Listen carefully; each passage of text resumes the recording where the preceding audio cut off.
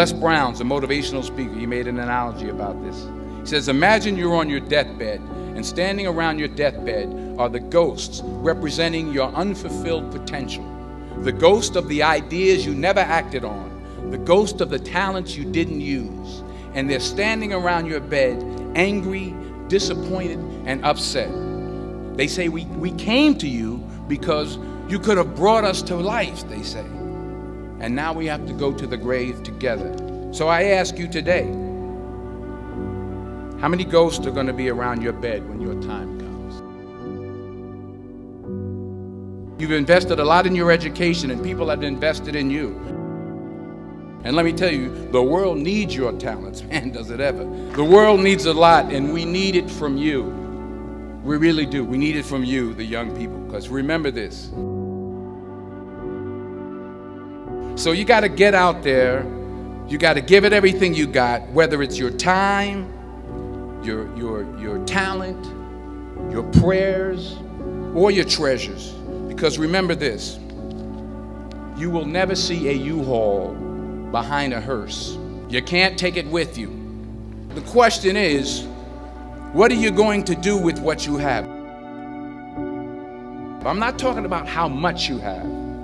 Some of you are business majors, some of you are theologians, nurses, sociologists. Some of you have money, some of you have patience, some of you have kindness, some of you have love, some of you have the gift of long suffering, whatever it is, whatever your gift is. What are you going to do with what you have?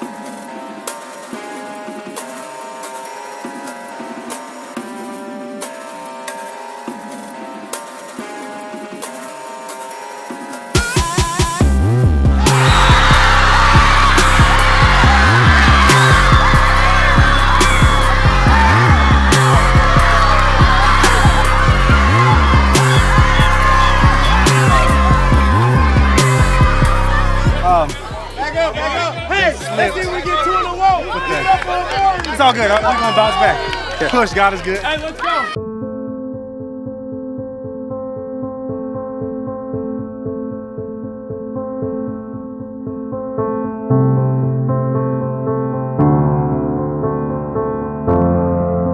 All right, now here's my last point about failure.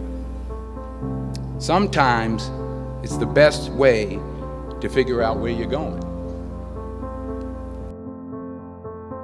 Your life will never be a straight path. While it may be frightening, it will also be rewarding.